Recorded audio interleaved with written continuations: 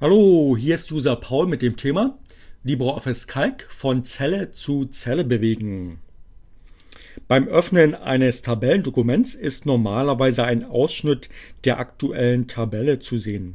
Von den Zellen im sichtbaren Fensterbereich wird eine Zelle durch eine fette schwarze Umrandung hervorgehoben angezeigt. Das ist momentan E10. Diese Hervorhebung zeigt den Fokus an. Wenn eine Gruppe von Zellen ausgewählt ist, werden diese in der Standardeinstellung hellblau oder grau hervorgehoben mit einer schwarz umrandeten Fokuszelle. Mit der Maus. Um den Fokus mit der Maus zu bewegen, bewegen Sie einfach den Mauszeiger auf jene Zelle, die Sie auswählen möchten und klicken mit der linken Maustaste darauf. Dies ändert den Fokus auf die neue Zelle. Diese Methode ist besonders nützlich, wenn die zwei Zellen weit auseinander liegen. Mit der Tabulator- oder Eingabetaste drücken Sie die Eingabetaste oder Shift-Eingabetaste, um den Fokus nach oben bzw nach unten zu bewegen. Drücken Sie Tabulator-Taste oder Umschalttabulator, also Shift-Tabulator, um den Fokus nach rechts bzw. nach links zu bewegen.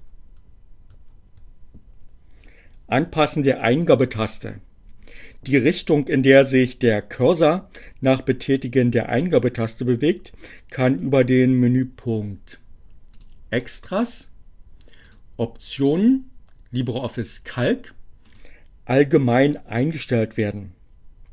Der Cursor kann sich nach oben oder unten, nach rechts oder links bewegen. Je nach Art der aktuellen Datei oder abhängig von der Art der eingegebenen Daten kann die eine oder andere Richtung sinnvoll sein. Die Eingabetaste kann auch zum Wechsel in oder aus dem Bearbeiten-Modus genutzt werden. Mit den ersten beiden Optionen hier Eingabeeinstellungen. Die Eingabetaste bewegt die Selektion nach unten, rechts, oben, links oder Eingabetaste schaltet in den Edit-Modus, kann das Verhalten der Eingabetaste verändert werden.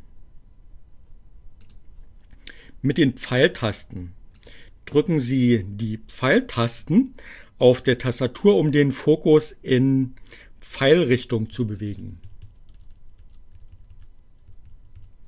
Pose 1 bringt den Zellcursor an den Anfang der Zeile. Und Ende bringt den Zellcursor in die am weitesten rechts liegende Zelle der aktuellen Zeile die noch Daten enthält. Und Ende. Das ist hier D2. Bild unten verschiebt die Anzeige um eine ganze Bildschirmseite nach unten.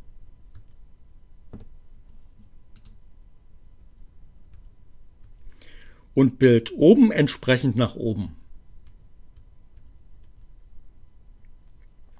Durch gleichzeitiges Drücken von Steuerung oder Alt-Taste und einer der Tasten Pose, Ende, Bild oben oder Bild unten wird der Cursor in besonderer Weise verschoben. Und am Ende noch ein Tipp. Durch Kombination der Alt-Taste mit einer der Pfeiltasten lässt sich die Spaltenbreite verändern also Alt und Cursor-Tasten. Nach links und nach rechts. Das war User Paul von Open Screencast. Ciao und viel Glück.